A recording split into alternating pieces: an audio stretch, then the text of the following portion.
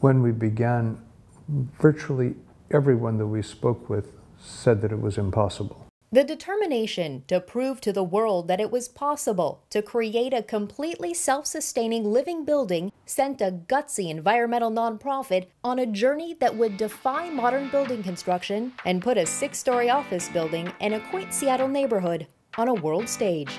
This building is really supposed to be a quantum leap forward for, for the regional, national, global green building industry. Literally represents a manifestation of all we know and can do today. It was profound and it touched people around the world.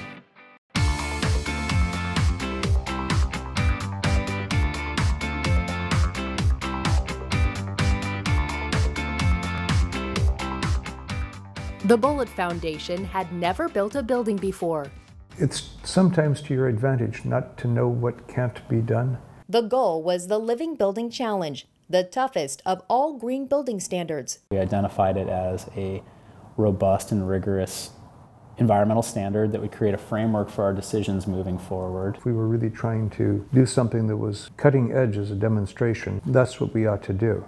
It had never been done on a commercial scale. The thing that we all understood at the time was that nobody had experience doing what this vision set out to accomplish. I don't think there was any part of us that weren't excited about the challenge. To meet the Living Building Challenge, the Bullitt Center would have to produce as much energy as it used. Location was critical. We were going to be investing maybe a million and a half dollars in solar equipment for our roof. A solar roof in shade, of course, is just a roof. We have to have direct access to sunlight.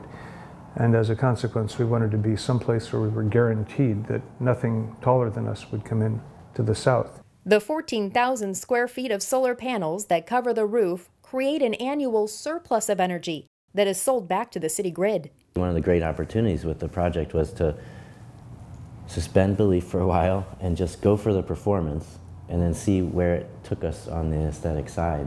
The building really, really focused and was designed in a way to maximize natural daylight penetration. So most of the time when you're in the building, you really don't need electric lights in the background to provide ambient light for the tenants. The building would have to collect all water used from rain and manage all its waste on site. All of the water that falls on the roof of the building gets collected in a 56,000 gallon cistern in the basement. All that water is stored there, and as the building needs drinking water, it goes through a robust filtration system. Coined the nervous system of the building, the basement is also where all gray water and solid waste from the building is treated. We have composting toilets, the only six story building in the world with composting toilets. So all the toilets empty into one of 10 composting bins in the basement.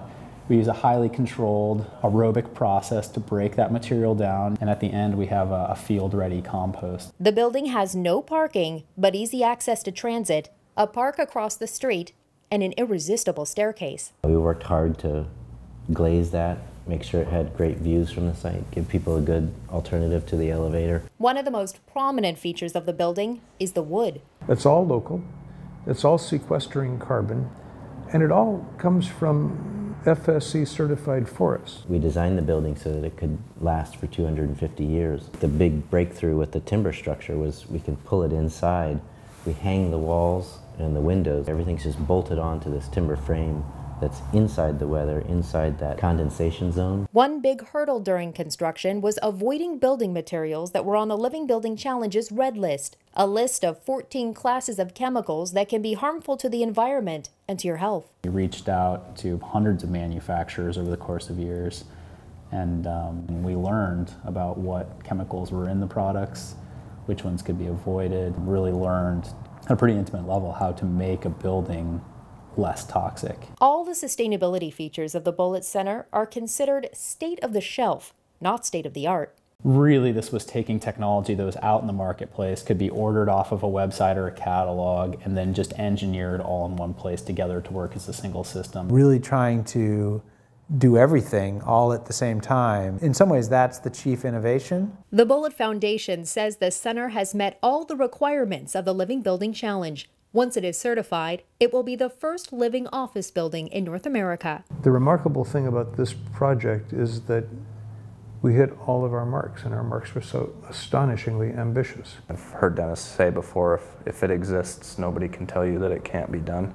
The six story Class A office building was completed in March 2013 and was 84% occupied by December 2014 with the Bullitt Foundation and several other tenants. What we proved here is that you can build a building that people really want to be in that has superb performance. The goal is really to change the marketplace and to drive higher levels of performance in green building. It's so much fun to be a part of a story that is broadcasted so broadly. The Bullitt Center has captured national and international attention from the media and the sustainable development community. It's often been referred to as the world's greenest office building.